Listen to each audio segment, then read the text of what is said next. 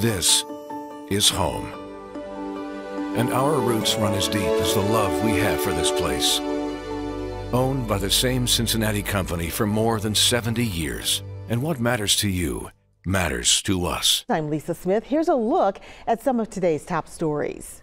More than half of Ohio's population has now started their first dose of a COVID-19 vaccine. That's a little more than 5.8 million people, according to the Ohio Department of Health. Nearly 61% of adults have at least one dose, while 58% of kids ages 12 and up also have at least one dose.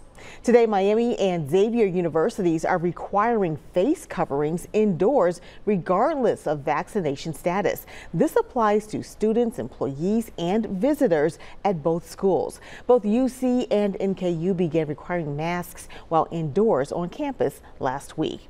Starting today, a six-week closure will begin at the intersection of Columbia Parkway, William Howard Taft Road, and Torrence Parkway. We're told lanes will be reopened as concrete repairs are made.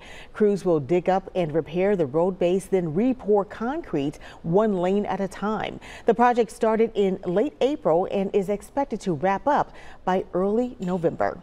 And now let's check in with Sherry for the forecast. Well, we have some showers that we're going to get water for your lawns as well as for the gardens today. It's a minor disturbance, but it could trigger a thunderstorm or two out there that could be on the stronger side. We have this marginal risk. That means we would be dealing with those showers with gusty winds. Otherwise, we get some much needed rain. We haven't had any for over about eight or nine days or so.